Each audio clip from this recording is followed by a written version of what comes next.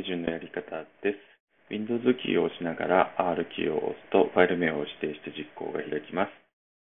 レグエディットと入力して OK を押し、ユーザーアカウント制御がついたらば、はいを選んでください。そうするとレジストリエディターが立ち上がります。この中で H キーローカルマシンを選択し、右を押し、その後システム、まあ、入力した後にまた右を押し、カレントコントロールセットを選択し、右を押し、続いてコントロール右、さらにクラス右と押していきます。で選択するクラスの下にはたくさんのノードがありますので、一度左側のツリーを大きくした後に、また中括弧からですね、中括弧